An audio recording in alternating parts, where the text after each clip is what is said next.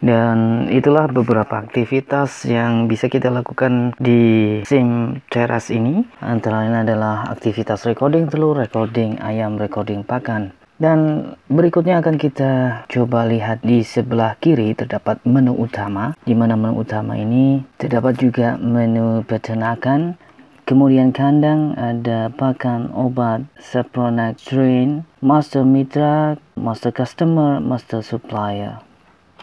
Kemudian pada menu recording ayam terdapat data recording, isi kandang, pengosongan kandang, penambahan ayam, rekam ayam mati, rekam ayam afkir. Dan berikutnya di recording telur ada data recording, kemudian pengumpulan telur, pemilihan telur atau stok, kemudian pemakaian telur atau tidak dijual. Berikutnya pada recording pakan, terdapat menu eh, data recording dan pemberian pakan. Eh, berikutnya pada formulasi pakan, terdapat menu eh, penyampuran stok pakan, kemudian standar pakan, dan di bawah sendiri terdapat menu laporan untuk melihat bagaimana recording pada kandang mulai ayam, telur, pakan, formulasi pakan dan sebagainya. Baiklah, berikutnya untuk uh, lebih familiar terhadap menu akan kita coba lihat lagi yang ada di sebelah kiri terdapat menu peternakan dan di sana terdapat menu recording ayam, recording telur, recording pakan dan formulasi pakan dan laporan. Kali ini akan kita coba masuk ke dalam recording ayam. Di dalam menu recording ayam terdapat beberapa aktivitas yang di antaranya, di antaranya adalah data recording isi kandang, pengosongan kandang, penambahan ayam, rekam ayam mati dan rekam ayam afkir. Akan kita coba memulainya dengan data recording, kita klik kemudian akan muncul seperti ini. Ini adalah data aktivitas setiap rekaman terhadap ayam. Kita bisa lihat di sini semua data. Antara lain adalah untuk isi kandang.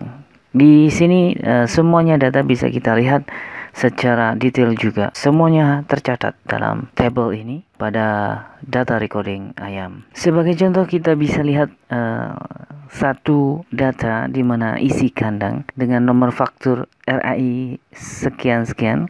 Di sini terdapat uh, mitra Trubus Farm, kemudian tanggalnya 09 12 2017, gudangnya TB atau gudang Trubus, kemudian total kandang dan kandangnya TB02A. Kemudian dengan kode barang 050013 ayam pulet itu adalah nama barang dan jumlah isi kandangnya adalah 3695 ekor.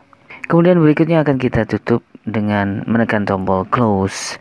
Baiklah, akan kita coba uh, latihan mulai dari awal isi kandang, kemudian pengosongan kandang, penambahan ayam, ayam afkir, ayam mati.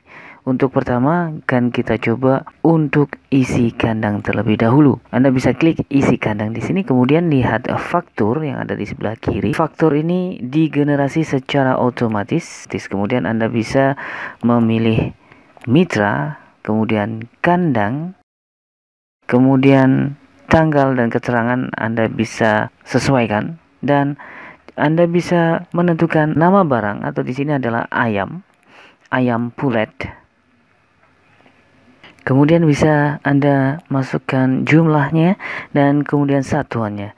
Dan juga jangan lupa Anda bisa masukkan uh, umur harinya. Berikutnya Anda bisa menekan tombol tambah dan segera akan muncul uh, table di bawah uh, panel tersebut. Ada faktur ayam, kemudian umur, jumlah dan aksi. Di mana aksi ini Anda bisa gunakan untuk mengelola uh, data jika Anda sudah selesai, maka Anda bisa klik simpan. Akan muncul eh, notifikasi dan silakan di close. Silakan di close atau tekan tombol close, kemudian Anda akan kembali ke table data recording ayam.